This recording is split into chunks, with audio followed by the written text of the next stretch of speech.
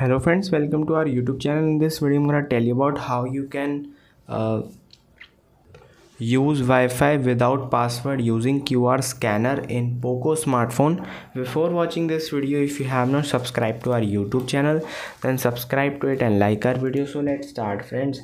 First you have to open your settings. Click on wi-fi.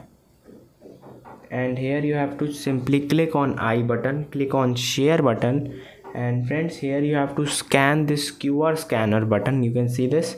And your wi-fi uh, will connect without password. I hope you like this video. If you like this video then subscribe to our youtube channel for more helpful tips and tricks videos. See you next time